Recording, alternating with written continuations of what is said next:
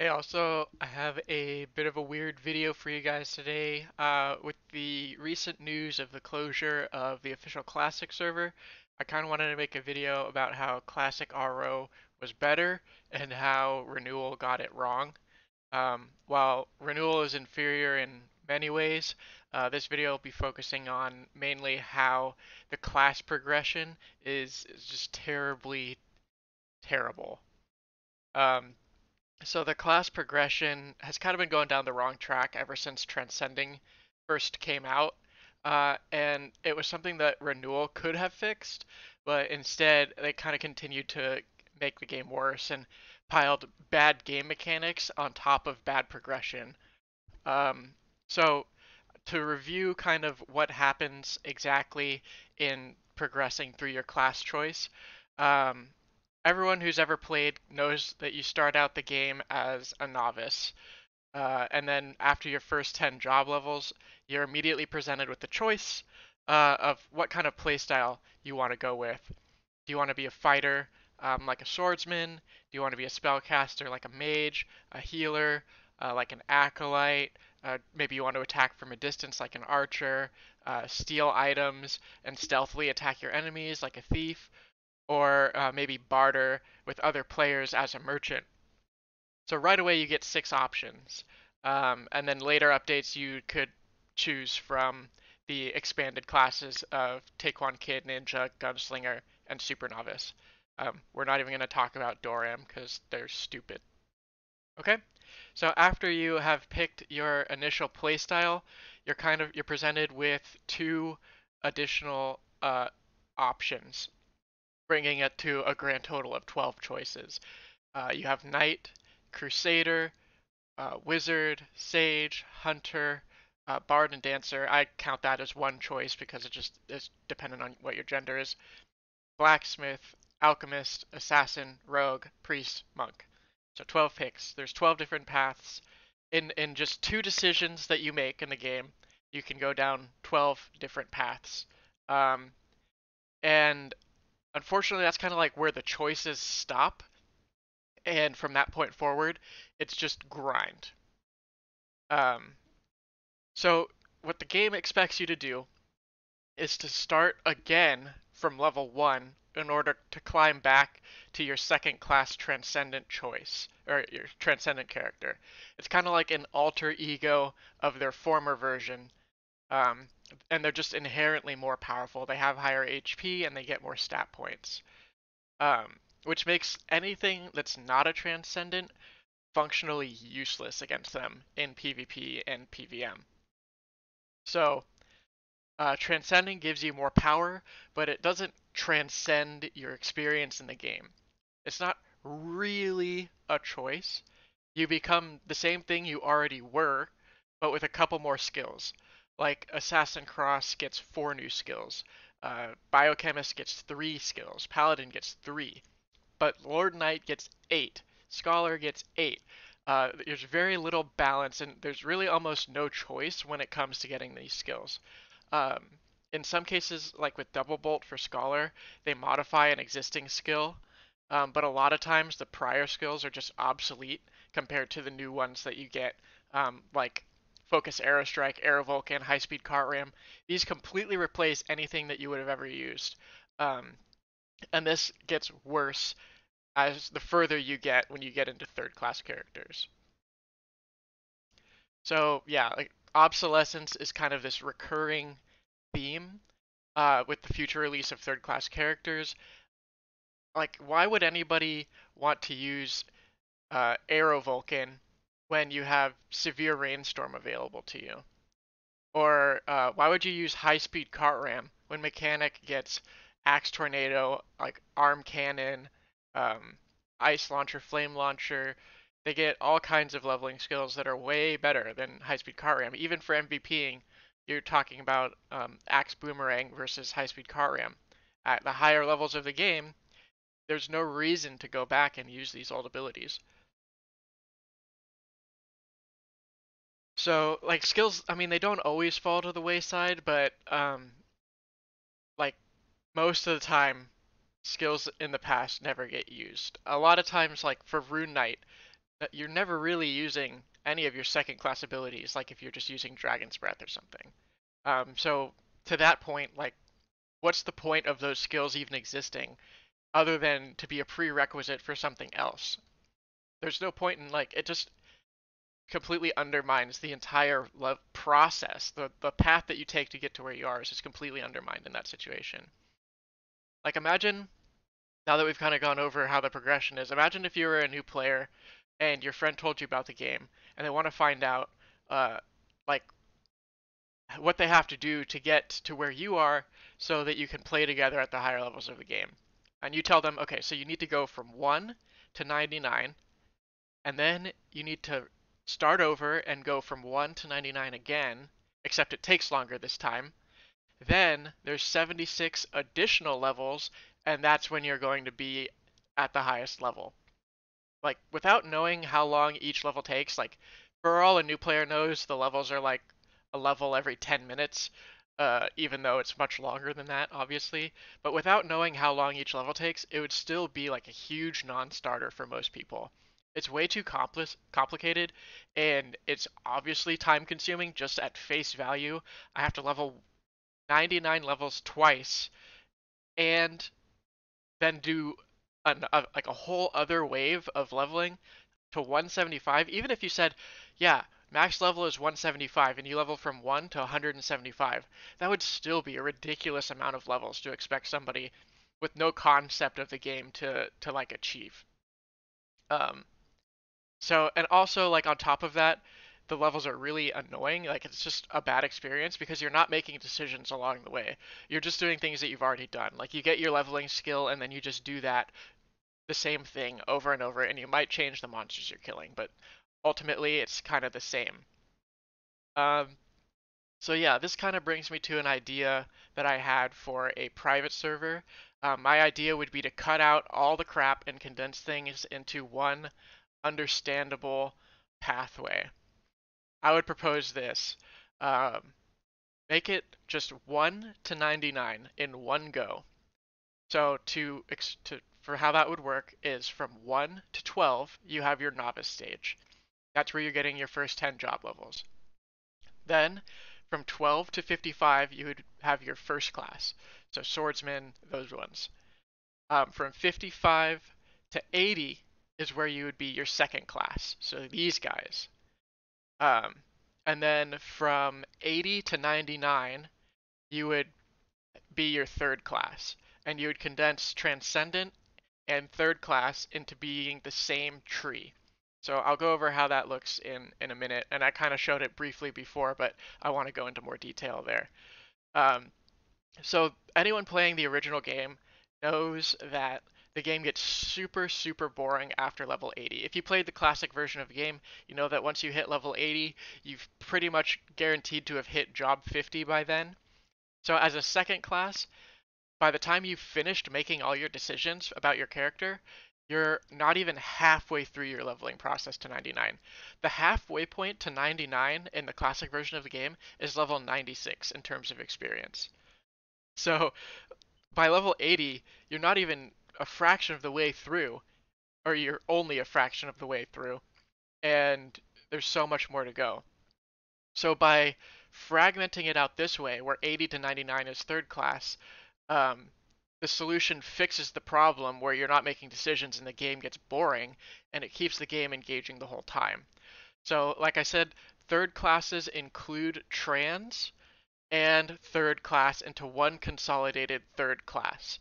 Um, so if you went wizard, you would go high wizard or you would go warlock. Now, you might think that there's like a huge difference in the skills available to high wizard and warlock, and I've thought of that. I'm getting there, and um, I, I want to go over that in a second. But first, I want to illustrate a concept um, that each class has two identities in the skill tree. So to, to illustrate that point, we'll look at knight. Um, so you can see as a knight, you have a, a split identity between your sword skills and your spear skills. Um, depending on your playstyle, you might pick one or the other, but usually you don't mix the two because it would prevent you from reaching the highest levels in how you want to play. So, for example, if you get Brandish Spear level 10 and you want to get um, like Pierce because that's good for single target large boss killing and Spear Boomerang, like you really like the idea of spears, uh, you won't have room for Bowling Bash. You see, we're over the limit, and there's no way that we could get a, a, a, usable level of Bowling Bash if we got all of Cavalier Mastery and everything that we would want as a Spear um, Spear Knight. Um, there's just no way of getting this this skill. It's just it. So you can see the the identity split there. Um, so what I would propose is to treat second class kind of like a trial period to see what kind of playstyle you like within your second class choice. Uh, then when you complete the third class quest, this is where uh, renewal comes into play. Um, renewal should have always been a restructuring of class progression. Uh, now that they have more character models to work with, um, they uh, when you complete your third class quest, uh, you would just refund all the skill points, and your skill tree would transform into whatever uh, pathway you wanted to go back back on. So, like I said with wizard, you would go high wizard or warlock, and then when you went high wizard, some of the skills that you had available as a wizard would not be there anymore because they're not relevant to the progression of the high wizard tree and Warlock would get those skills instead, and Warlock would not have some skills available to it that Wizard had, like in the past, and I, will show you how that looks. Um, so the skill tree would get restructured and divvied out to either one of these classes uh, based on what the playstyle and the identity of that character would be. So it gives another choice into the equation.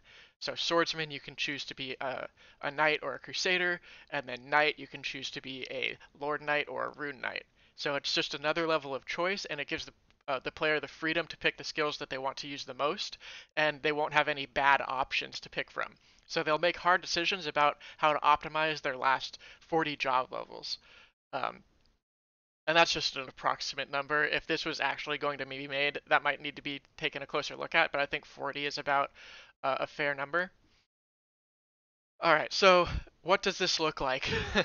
uh, the rest of the video is just going to be going through each class and explaining what their class identity is and how the skill restructuring fits into the vision for each character. Um, so try to forget about how this how strong certain abilities are in current renewal. Ideally, these skills would be balanced to classic mechanics, doing reasonable amounts of damage. Uh, so you'll notice that some second class skills are removed, like I said, from the third class skill tree and assigned to the role that truly requires the skill. Um, so starting with with Knight, um, Lord Knight is more of a physical powerhouse that uses their raw strength to smash their enemies with spears mounted on pecos, where Rune Knights are more like mystical warriors that use ancient knowledge to empower their auto attacks or their, their damage with runes. As such, uh, Lord Knights would inherit the spear skills from the Rune Knight tree, and so I'm talking like these these ones over here, Phantom Thrust, Hundred Spear, um, and uh, Sonic Wave, I believe. Uh, so they would inherit those abilities, and then some of them would be retooled to be spear-only abilities, uh, while Rune Knight would inherit some of the more mythical skills from the Lord Knight tree, um, like Aura Blade, Parry, Frenzy, uh, Relax. Uh, Lord Knights would be more strength focused, whereas Rune Knights would be more intelligence focused to benefit Dragon's Breath, or um, like if Rune Mastery required int, uh, your your rune would compensate for your lack of strength, and it would give you build diversity between the two classes. So Crusader would have the option to become either a Paladin or a Royal Guard. Uh, Paladin is more of the holy warrior, uh, they're a party tank uh, slash support type role. Um, they would buff their allies with auras and stats while keeping them safe from damage. Um, and royal guards would be frontliners of the battle. Uh, they'd have they'd charge forward with spears and they'd mow down the enemy.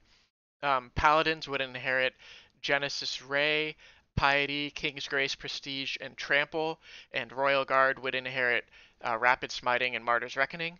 And you can see the skill totals at the bottom. Um, by divvying up the abilities into identity, it actually is inherently balanced. Um, this this class has no more abilities, uh, skill levels to get than the other. Um, so you're not going to be set back by having less options available by going either Paladin or Royal Guard. It's just a different playstyle. So um, next we have Wizard. Uh, wizard can ascend to become either a High Wizard or a Corrupt Warlock. High Wizards amplify their prior magic abilities and evolve them into stronger spells with longer cooldowns, while Warlock is more of an anti-mage. Um, they isolate the enemy, they weaken them, and then they burst them down with spells stored in their spellbook with no cooldown. Um, High Wizard would inherit Chain Lightning, Crimson Rock, Comet, Frost Misty, Jack Frost, Earthstrain, Sienna Execrate, uh, Recognize Spell, and Radius. And these are just amplified versions of the previous magic abil- abilities, elemental magic, that Wizard has. They evolve those abilities and then they get mystical amplification to deal big burst AoE damage. Um, but obviously the, the AoE damage would have to not be as strong as a single target because one is hitting many and one is hitting one target. So Warlock would inherit um, Soul Drain, Ganbantein, Gravitational Field, and Napalm Vulcan. Um, so High Wizard is more of an AoE crowd control, while Warlocks are more single target lockdown. So you can imagine you would White Imprison something and then Tetra Vortex or uh, Soul Drain, and you would have intense telekinesis and soul expansion to take down like ghost ring users or something. Um, so these have a relatively even amount of skills. You're still going to make have to make big choices because keep in mind you're going to have your 50 job levels from your second class and then 40 job levels from your third class choice. Which means there's no way you can get all of the abilities. You'll have to pick and choose what kind of elementalist you would want to be or what kind of do you uh, warlock you want to be? Do you want to have a single target burst with Tetra Vortex, or do you maybe want to have all of this other CC on your kit? So moving on to Sage, uh, Sage can travel down the path of Scholar or Sorcerer. Uh, Scholar focuses on expanding their understanding of elemental attacks, where Sorcerers focus on evolving the magic tree of um, known as Familiars. Um, they channel their magical attacks through an ally familiar to modify the effect of their spells. Um, personally, I think that the elementals that scholars uh, would summon should be treated like pets where they're not involved in monster combat unlike the current system where you summon the monster uh, with a catalyst item and then it can die in combat right away and it doesn't really modify your abilities so think of them more of a follower and less as like another monster that adds to it your attacks but depending on the one that you summon it would modify your your abilities in different ways like how a water elemental uh, an aqua would make your psychic wave water element so something like that. Um, sorcerers or uh, scholars would inherit Arrullo, Spellfist, and Extreme Vacuum, uh, and sorcerers would inherit Foresight. Uh, scholars are designed to put up uh, defenses and cast single target abilities from afar, or lock down the enemies and blind them while raining bolts um, with auto attacks. So you could fiber lock somebody, then put down a vacuum on them, then blinding mist yourself, and then start spamming bolts on them, and they'll you know die really quickly because once you break fiber lock with like firebolt or something, they're still going to be locked down with vacuum. Um, so the idea is to put a whole bunch of obstacles in the way of the enemy, and then when they approach, you would hit them with bolts. Um, and then sorcerers would use area of effect magic and conjuring their abilities through familiars to deal different types of damage. So they would have more diversity and they would have the ability to attack multiple targets at once. So a hunter would become either a sniper or a ranger. A sniper would focus on long range attacks where rangers would focus on beast mastery and trapping. Again, uh, consider that these abilities would need to be rebalanced so that they would make sense uh, in a classic server context. Um, so Rangers would be again mo more focused on beast mastery and trapping. So sniper would inherit camouflage. They would both have this ability just to make sure that the skill values are relatively similar. Um, I would still I'm not too sold on putting bomb cluster, detonator, and electric shock over on this tree along with trap research. I think that would make more sense on ranger but it would limit the options that you have for sniper. Um, perhaps there could be another way to maybe add five levels to Fear Breeze or No Limits to compensate for the number of skill points that would be different if these were to be moved back over to the Ranger tree. I think Ranger would make more sense to be uh, Trapper. So a, a sniper would inherit Camouflage, No Limit, Aim Bolt, Arrow Storm, Fear Breeze, and Ranger would inherit Falcon Assault and um, I think it would be really interesting if you could use a Falcon and a Warg at the same time, so you'd have this really interesting auto attack kind of build going on where you'd have your your summons uh, constantly attacking for you. Um, and so moving on from there, we have Bard and Dancer. Um, it's, it's a really big tree because there's four classes within here. Um, they can become Minstrel, Maestro, Gypsy, or Wanderer. Ultimately, maestros and wanderers focus more on songs and attacking with their voice, and minstrel and gypsy focus on dances and more offensive tools like tarot card, arrow vulcan. Uh, a notable difference is that uh, wanderer gets severe rainstorm, where maestro, uh, where where um, minstrel would get severe rainstorm, and it's ultimately it's just to try and make the abilities suit the characters a little bit more with their identity. Um, where minstrel and gypsy are used to working alone, whereas maestros and wanderers are used to working in chorus with each other. All right, so this is next one's a really big one, and I do want to take a second to um, tackle this issue that's kind of existed with uh, genetic and mechanic. So there's this really awkward situation that exists in the merchant skill tree. And uh, it's a complete mess uh, because you have something like alchemist, which gets axe mastery, but then you have mastersmith or a mechanic that gets axe mastery, and then you have genetic getting uh, cart boost when Mastersmith had cart boost first. Um, I can't possibly begin to explain where this entire Mado tree even came from. Like, I don't know what this this tree had.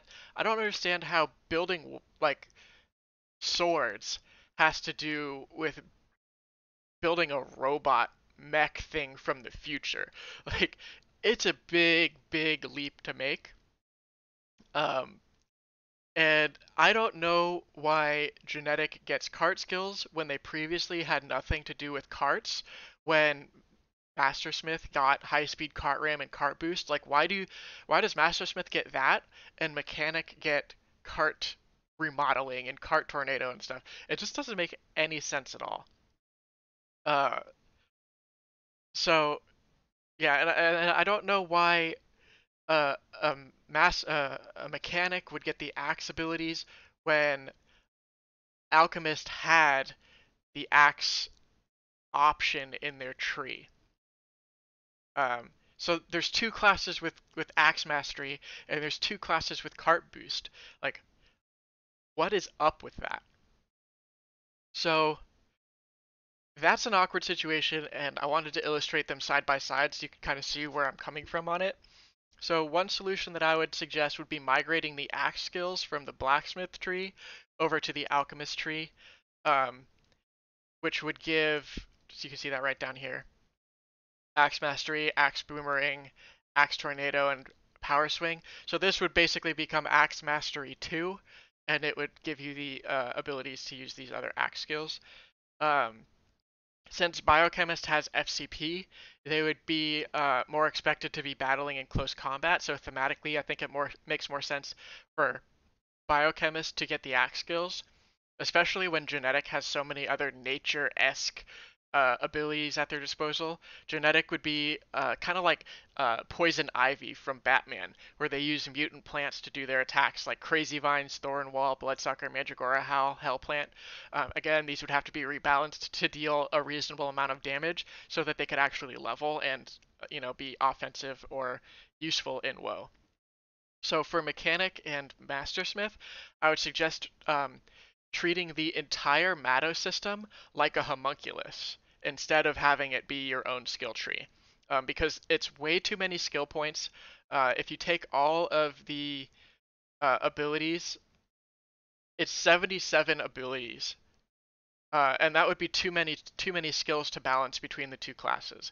So I would suggest taking those all away and creating a Mado-like homunculus. Um, a mechanic can, que- can, can complete a quest uh, to build a Mado suit that follows them around like a homunculus does. They get one skill every three levels, the same as a homunculus, up to level 99. This uh, then their um, Medunculus can use their abilities to assist the mechanic in combat. For example, casting a neutral barrier, so a mechanic can use their newly acquired cart cannon skill because they would inherit the cart abilities from genetic, um, since genetic has so many skill points already they would inherit the cart abilities uh, to attack from like range safety. But you could also maybe, if you wanted to focus on like a suicidal destruction build, you would focus on different things. Uh, if you wanted it to attack with you in an AOE, you would have arm cannon and you'd have it do elemental stuff. That way you could kind of treat it as like a partner instead of like having this weird random thing that makes no sense. Um, so I could go on with the merchant class quite a bit, but let's, uh, in the interest of time, move on to Assassin. Uh, Assassin has really two clear identities. They have the poison tree, and then they have like a hack and slash uh, element to them. Uh, it's pretty obvious which is which. Um, Assassin crosses would mix their poisons to further uh, enhance their weaponry and come up with fun and exciting ways to um, inhibit the enemy so they could put like imagine if you had all access to uh, new poison research and if you could then use the new poison with like venom dust or poisonous smoke to apply different effects um, and then when monsters are under those effects or enemies are under those effects you would deal more damage when you're using uh, a, a different poison on your weapon. Um, where a GX goes all in on chopping their enemies to bits. Uh, to bits. Um, SinXes get all of the poisony goodness. Again, it would have to be rebalanced to be relevant. Like nobody goes poison react, venom dust, or venom splasher for a reason. That's where renewal comes in. It gives new life to these abilities, and it makes it so that you can build a character that plays to your playstyle and uh, that's actually viable. Uh, and then, of course, GX would get all the spinny, choppy blade skills like Rolling Cutter, Cross Impact, Dark Claw, Cross Rip Slash, Weapon Block, Counter Slash. Uh, there's not a lot of abilities. GX has the lowest amount of skills uh, of all of them. So if you think Assassin goes job 50 and then they get 40 more, they can get pretty much every ability. Uh, and Assassin has kind of always been that way. Like on Thief, if you go job 50, you're only going to miss two skill points uh, as, as as a assassin. You're you're not really going to be missing any points because nobody went enchant poison, poison react, venom dust, or venom splasher anyway. So it's kind of always had very low options, and this is the lowest it exists. So I still think that in the interest of other classes, 40 job levels for your third class after you have gone second class uh, is a reasonable amount of skills to give them for the new additional skills they're going to have available. And the, the good thing about these skills is they don't make your previous skills obsolete anymore. They just add to the benefit. So moving on to um, Stalker and Chaser, uh, they seem really similar on paper. Um, they're both lurking in the shadows, stealthing around and causing trouble. Um, the best way I can differentiate them is that Stalker is more about harassment, as a Stalker does, and a Shadow Chaser is about becoming like the Shadow Link of Ragnarok, where you copy the enemy and you start beating them at their own game. uh, Stalker gets skills that are about stripping the enemy down and tormenting them, like how Stalkers do. And uh, Shadow Chaser gives skills that give them an advantage at stealing their enemy's greatest skill, demotivate, and uh, then you demotivate them at like an emotional level with the masquerades. So you would like take their take their ability and then you would debuff them and then you would beat them at their own game. Theoretically, is how it would work. Um, and let's see, moving on, we have um, High Priest and Archbishop. Those are pretty clear cut. Uh, there's two clear identities. High Priest focus on support and keeping your allies alive, and archbishops focus on exorcising demons and the undead, as well as empowering their allies with holy property attacks, increasing incoming damage that the enemies receive, uh, and a high priest would be able to use party buffs. Um, like I remember back in the acolyte days where you'd have to buff down your party list, uh, and as a priest you're like encountering how that's annoying, and then you graduate into being a high priest where you have a little bit better quality of life and you're more helpful overall to support an entire party instead of one or two players. Um, and archbishops are just there for killing demons. They're really helpful in the end game because there's a lot of demon monsters and undead. Um, so it would always be good to have one around with you. So last but not least, we have monks. Um, so a monk would become either a champion or a shura. Um, these classes are all about how you use your spirit spheres. Uh, champions get fewer spheres, but they have Zen to reload quickly, and Shura only has Rising Dragon to uh, replenish their spheres. Uh, so they need to use their spheres wisely. Uh, so champions gain more automatic combos with flash combo, dragon combo, and chain crush combos. These skills would have to be transformed. So if you were to go up to somebody and use dragon combo on them, this would be an active ability. Or you could trigger it off of Raging Trifecta to deal more damage. Um, if you were to use Dragon Combo, it would automatically cast Rampage Blaster and Raging Palm Strike. If you were to use Flash Combo, it would automatically cast Raging Thrust and Skynet Blow. Um, and then if you were to cast, cast Chain Crush Combo, it would be for Raging Quadruple Flow, uh, Blow and Fallen Empire. So if you think about it, um, Dragon Combo is more about crowd control and knocking your enemy back at the end of your combo and then flash combo is more like dealing AoE damage um, because Raging Thrust is an AoE attack and uh, Skynet Blow is an AoE. Uh, so Raging Thrust might knock an opponent back a few cells, but it would still be within Skynet Blow's range to deal damage. And then Chain Crush combo is just about rapid striking, so you'd hit them four more times and then a bunch more times with Fallen Empire. Uh, and then Shuras would be more about like being a sledgehammer. Like they would get G Fist, which would pretty much one shot anybody. Um, but they also have Tiger Cannon, Glacier Fist, and Gate of Hell. Uh, those are no joke either. Um, champions would be more like circling the fight and looking for uh, stragglers to pick off. And then when the opportunity presents itself, they would go in for like a cursed circle and a windmill to fit to help their team take down uh, the enemy. Where Shuras would be about taking down the toughest targets, like Royal Guards or Lord Knights. So they would be more like in the battle. And that way, if they saw a champion go in for a snap, they could do um, assimilate power and take away all their spheres. And I would maybe change assimilate power so it doesn't get rid of your own, but instead it would add the opponent's spheres to yours. So if you are fighting a champion, you could steal their spheres and then you would actually have some more to work with. If dragon com if um not dragon combo, if rising dragon was on cooldown and you had no spheres left or you didn't have as many. So champions would actually enable you to keep going in the fight. Um so yeah, that's pretty much all I have for the class progression suggestions. Um, thanks to everyone who stuck around to hear me out. I know this video wasn't super thrilling and it was a lot of talking, but hopefully someday uh, we could see a server like this.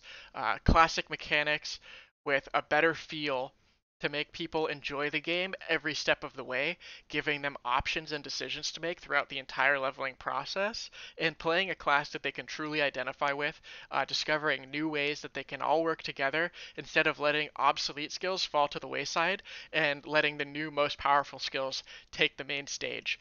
Um, so I just think it would be so cool to see a world where somebody had a paladin uh, sacrifice sacrificing themselves for the party, and then a royal guard was frontlining, or like uh, you had a dragon's breath rune knight statusing the enemy from afar, or you know you just have all these playstyles that now open up if you were to restructure the game this way and put everything on a level playing field, let everybody get to the uh, play the style that they really want, and stop putting the end game so far out of reach. The end game should be for getting gear and um, and different things that add a little twist to your build. The things that you can make your stat builds different. The things that will make your abilities optimized. So there's there's the there's the game of picking your skill build and then there's the meta game of within that what gear am I looking for? The end game should cater to expanding the enjoyment of your skills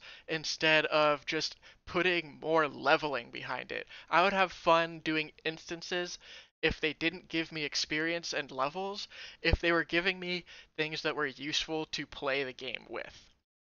Um, so anyone that's up to the challenge of making a server like this and wants to consult with me on it, hit me up. If you don't want to consult with me and you just want to make the server, let me know you made it. I would love to play it. Um, there's no way I could set something like this up. There's tons of smart people out there in the private server community. So uh, have at it. I hope you guys enjoyed it, and uh, thanks for listening.